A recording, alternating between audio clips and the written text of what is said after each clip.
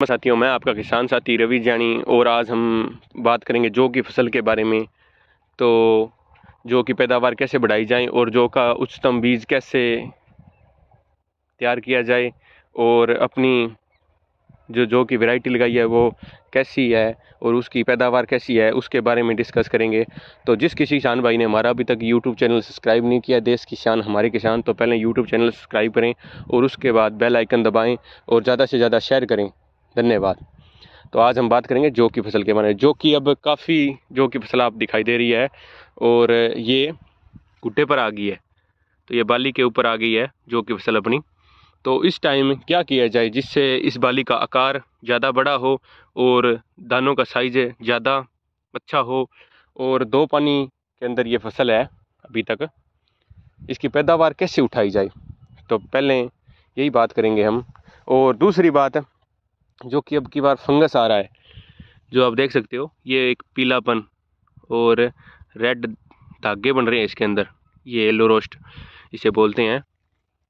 और ये काफ़ी हद तक है इसके अंदर, और एक जो तेला और चिपचिपापन, तेला बहुत ज़्यादा आ रहा है इसके अंदर, ये देख सकते हो, ये तेला, ये बाली के अंदर, ये देखो, काफ़ी है।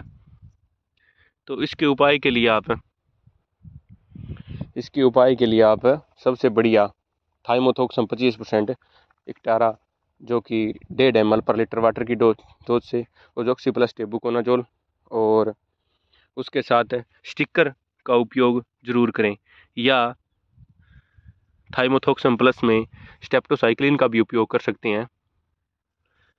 दो से तीन पूड़ी पर बिकेगी। स्टिकर का इसलिए उपयोग करें, कोई की ये बात नहीं बताता है किसान को। स्टिकर का इस टाइम उपयोग ये होगा, जो आपके ये पौधे के अंदर जो ये तेला है, इसके ऊपर ये स्प्रे नहीं गिर पाएगी। और जिससे कि किसान भाई को फ़सल का अंदर जो स्प्रे किया फोलियर स्प्रे, उसका रिज़ल्ट नहीं आएगा। तो अगर फोलियर स्प्रे का रिज़ल्ट नहीं आएगा तो किसान भाई को वही कारण हो गए भी दोबारा भागना पड़ेगा बाज़ार के अंदर दोबारा स्प्रे लानी पड़ेगी। तो इससे बढ़िया है, जो स्टिकर होगा उसका काम क्या होगा? इस पौधे के पत्तों के अंदर जो कवच बना है उसको छेद कर और उसके अंदर दवाई पहुँचाने का, स्प्रे पहुँचाने का काम करेगा, जिससे कि अंदर ये मच्छर है, जो तेला है, ये बैठा है तो उसको मारने का बहुत ही बढ़िया साधन है एक स्टिकर, जो कि पत्ते को इससे जोड़ेगा और आपकी फ़सल के अंदर ये फ़ायदा होगा। ये देख सकते हो, ये फंगस की शिकायत अभी स्टार्टिंग हुई है तो इसके लिए ये रोकथाम है। और दूसरी बात करें हम, ये जो कि जो बालियाँ और साइज़, आकार कैसे बढ़े, इसके अंदर आप micronutrient plus Morgan amino acid हमारा, जो कि सत्रह L L free amino acid है, वो भी कर सकते हो। और अगर micronutrient N P K boron magnesium की स्प्रे करोगे तो एक ज़्यादा खर्चा बैठेगा किसान का। और अगर आप हमारी पोटास दो हज़ार उसका भी उपयोग कर सकते जिसके अंदर माइक्रोन्यूट्रेंट ऑल अवेलेबल है और वो इंसेक्टिसाइड और जो आप केमिकल फर्टिलाइज़र कर रहे हो, उसके साथ भी उपयोग में ली जा सकती है, क्योंकि आपको अकेली स्प्रे नहीं करनी पड़ेगी जो के अंदर। एक तो अकेली स्प्रे करेंगे, अपना डबल खर्चा आएगा, कम खर्चे में ज़्यादा पैदावार एक बढ़िया उच्चतम पैदावार होगी और आपको इस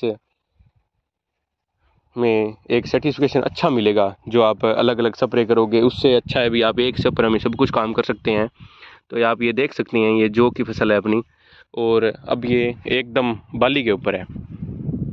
तो हमारा यही है कि किसान का विकास होगा तो पूरे मानव जाति का विकास होगा मानना।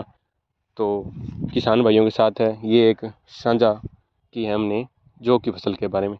आगे आगे जैसे जैसे गेहूँ के बारे में और जो आगे आगामी फ़सलों के बारे में आपको शेयर करेंगे। जय किसान, जय जवान।